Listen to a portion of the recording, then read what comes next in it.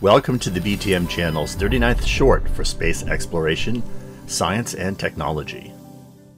Just five days before SpaceX's historic first commercial manned spaceflight on May 30, 2020, Virgin Orbit, the satellite launching offshoot of commercial spacecraft company Virgin Galactic, conducted its Launch Demo 1 mission. The mission program called for firing the liquid fueled Launcher 1 rocket into orbit from its Boeing 747 carrier aircraft just off the coast of Southern California. Unfortunately, the rocket's engine developed an anomaly shortly after release, and the mission was terminated. The post launch investigation revealed the cause of the failure to be a breach in the high pressure line carrying LOX to the first stage combustion chamber. Without a supply of oxidizer, that engine shut down and the mission was aborted. Virgin Orbit did not reveal why the specific part that failed was not discovered in earlier static fire tests. Our educated guess is that the vibration imparted to the rocket during the Demo 1 carrier flight was not effectively simulated in a ground based fixed test fire stand. Once the investigation was completed, Launch Demo 2 could be greenlighted. The rocket Virgin Orbit will use for Launch Demo 2 shipped out of the factory in late August. After making the short trip up to Mojave Air and Spaceport, that rocket was fitted to a test stand built to emulate the 747 carrier aircraft's left wing.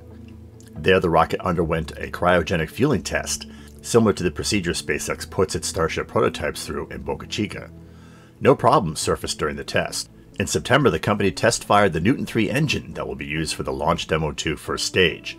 Again, no problems surfaced during the test, and it took only two weeks to certify the engine for the upcoming launch.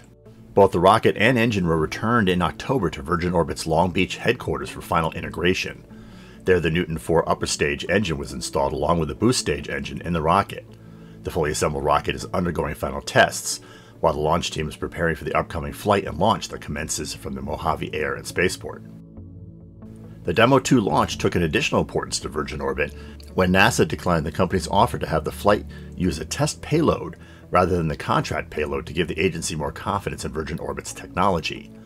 After reviewing the Demo 1 launch investigation data and the remediation plan, NASA insisted on launching the ELaNa 20 smallsat payload on the Demo 2 launch.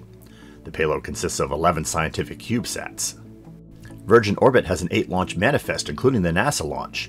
The others are three from the U.S. Space Force, one for GomSpace, one for Sky and Space Global, one for Cloud Constellation, and four for OneWeb. The U.S. Space Force is expected to use the first of its three rockets as a technology demonstrator. None of the seven launches after the Demo 2 launch are scheduled.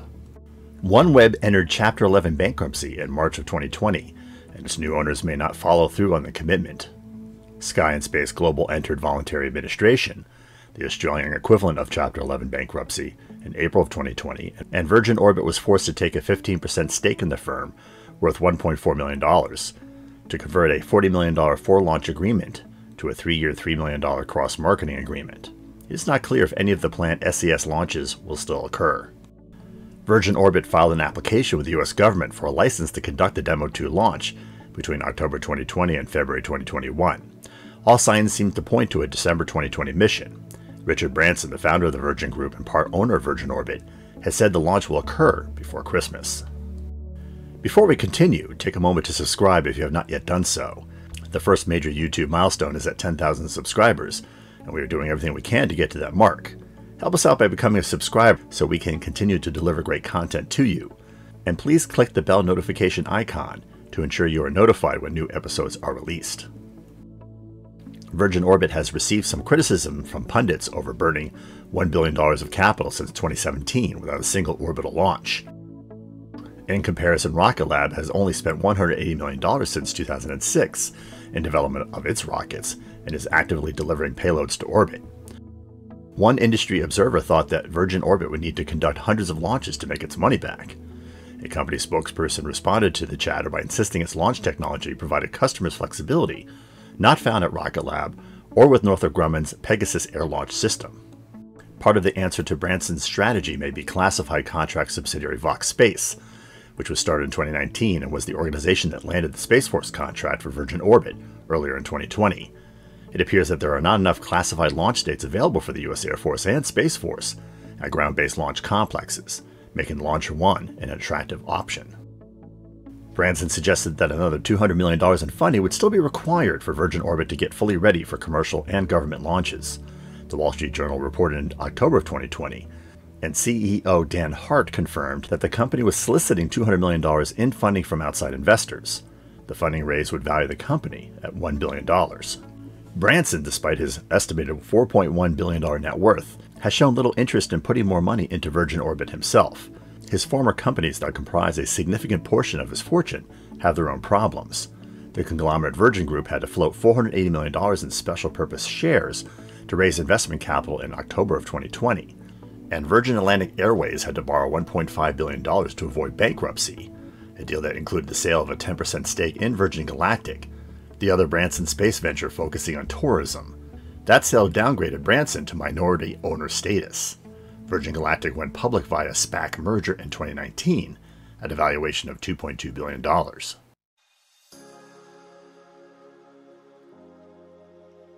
What do you think about Virgin Orbit's prospects as an air launch provider, and the likelihood of whether it can execute at a much lower cost than Northrop Grumman and launch more often than Rocket Lab? Share with us by dropping a comment below. We hope you enjoyed this fourth briefing on Virgin Orbit's Launcher One rocket. If so, click that like button. Links to some of our most recent episodes can be found in the description section below.